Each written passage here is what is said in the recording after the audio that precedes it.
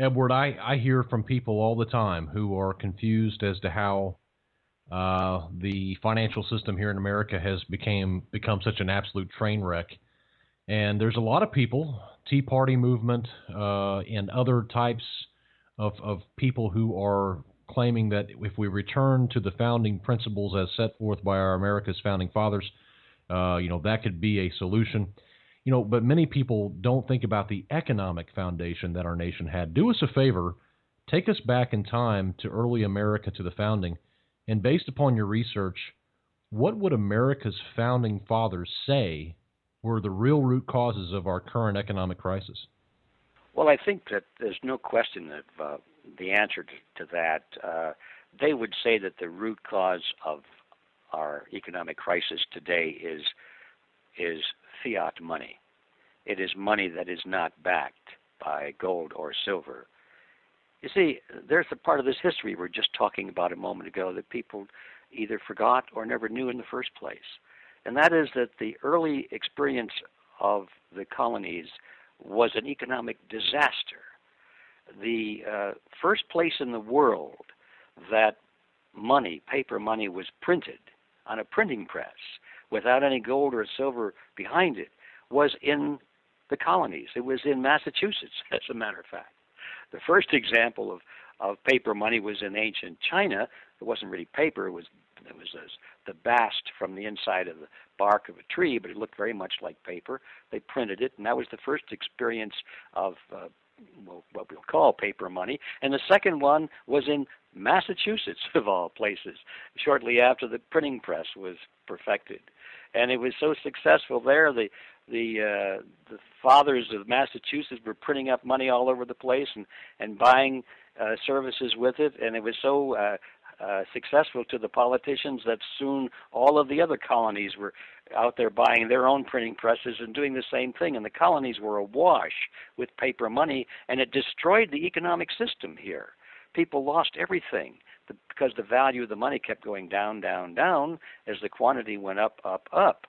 And by the time the Revolutionary War came along, then more of that went on in order to pay for the war and the uh, Continental Congress uh, developed its own money. They called the Continental.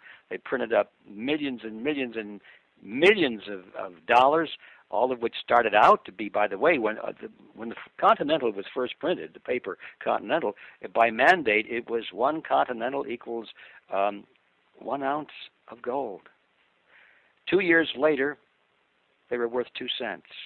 It took a hmm. million dollars to buy a suit of clothes. Wow. And this is the experience that America went through, and it was devastating. And so when it came time at the end of the Revolution to write that Constitution, they, those founding fathers, were very, very clear. We were never going to do that again.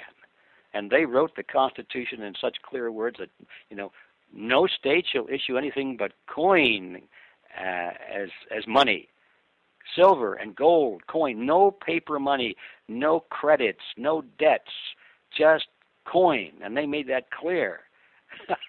well, so that was it. They understood it, but then, of course, came time for them to yield to the next generation, and then the next generation yielded, and first thing you know, here we are, six, seven, eight generations later, and we don't remember any of that history. And so we bought into this Federal Reserve scam, and they're printing money all over again, except they don't print it anymore on on printing presses. They they create it through electronic impulses in computers. It's even easier, and they can they can go to Congress and say, well, we want to we want to vote for a trillion dollars today or seven trillion dollars today to bail out the banks and the insurance companies and the automobile companies, and all the congressmen have to do is just raise their hand and say, yay. And they don't even have to turn on the printing press. The, the Federal Reserve comes to their aid and just creates the money out of nothing with digital impulses in a computer. I'm here to tell you that, you know, the gods of the copybook headings are not going to be fooled. The same mistakes will produce the same results. And we are heading down the path of total disaster right now that will make the experience of the American Revolution or prior or after the American Revolution the, of the colonies, of the experience of the debauching the currency and losing purchasing power and having a, person's wealth completely wiped out, it's going to make that look like uh, like a Boy Scout picnic. Well, and your book is so completely clear on this topic. I mean, you you talk about how the Federal Reserve System, the fiat money, the monetary system, they're blatantly unconstitutional. In fact, I'm looking at page 324 of your book, and it says the Constitution prohibits both the states and the federal government from issuing fiat money. So we have Article 1, Section 8 that says that, that money must be coined, it cannot be paper. Uh, it never gives ex- it never gives the ability for uh, the Congress to outsource the printing of money, uh, God forbid.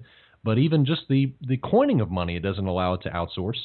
And we've moved to this place now where the Federal Reserve has basically hijacked, as you've said, uh, the entire system. And so this is exactly what they faced back then. How many how many central banks has America had since its founding? Well, it's had three altogether. Yeah, this is not the first one. There was one in place actually when the when the uh, country was founded. They got rid of it, and then there was another one came along. Actually, this is number four. Now that I'm thinking about it, and then there was the Bank of North America, and then of course the the big battle against the central bank that uh, we read about in the history books that was waged by um, Andrew Jackson I mean, he he was the big uh, battler against the banks, and he got rid of the central bank. And uh, boy, that was an interesting piece of history. It was a, a battle to the finish. And uh, but the the central bank was uh, well, that's the code name for it, it's like the Federal Reserve System. They call it a central bank. It's not a bank, but uh, it's a cartel. But anyway, uh, yeah, this is uh, the fourth time, and uh, and it looks like you know it's here to stay this time because now the the bankers really are controlling the government rather than the government controlling the banks. In your book, you uh, brilliantly describe how the Federal Reserve is able to create money out of nothing, as you were talking about, and you call it the Mandrake mechanism. Can you briefly elaborate on that mechanism and explain how that's been detrimental to the economy? Sure. Uh, I think this is where the rubber meets the road. People must understand how money comes into existence. And it's it's very simple, uh, but um, it's hard to believe it because it is so simple. And uh, often there's a tendency for someone to say, "But it just doesn't make sense." Uh, you mean they're just uh, they're just making it out of nothing? It doesn't make sense. And the answer is, well, no, it's not supposed to make sense. It doesn't make sense.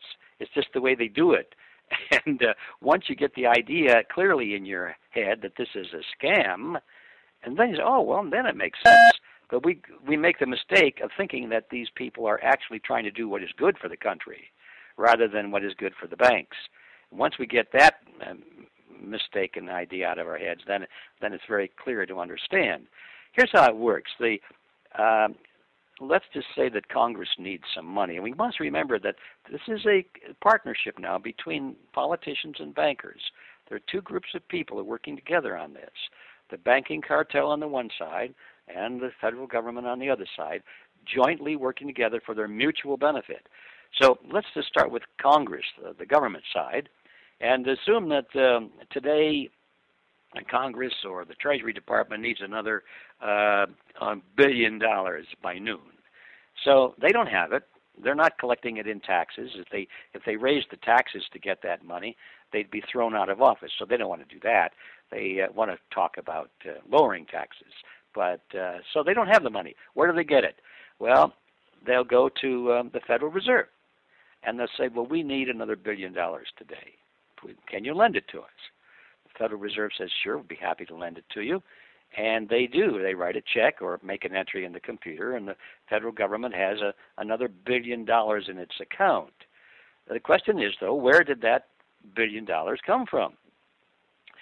Is it in an account? Did somebody deposit it? No, none of the above.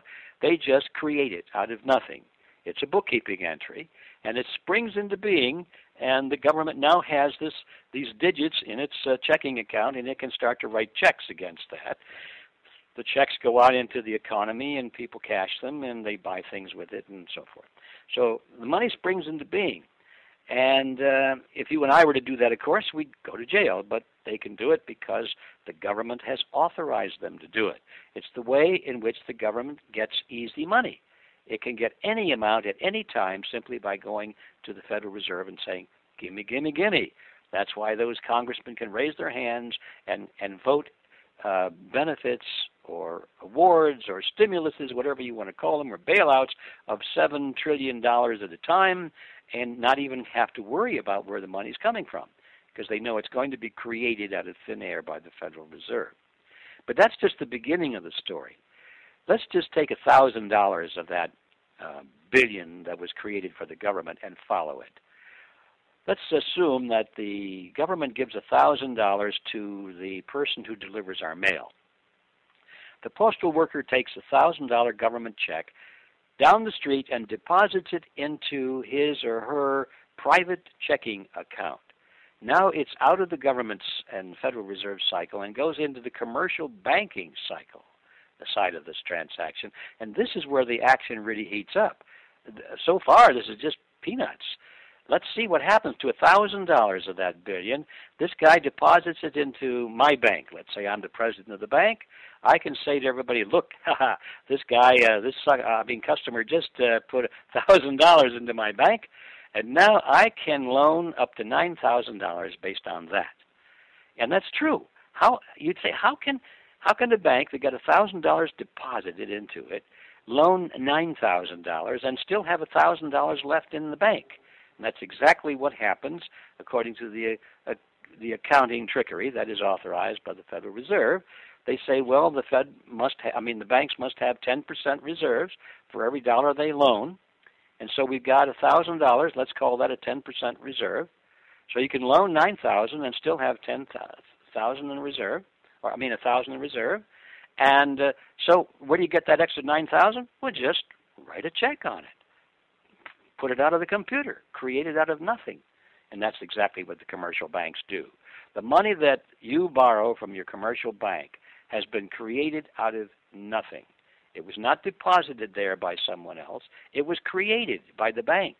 And they charge you interest on that. That means you're paying interest on nothing.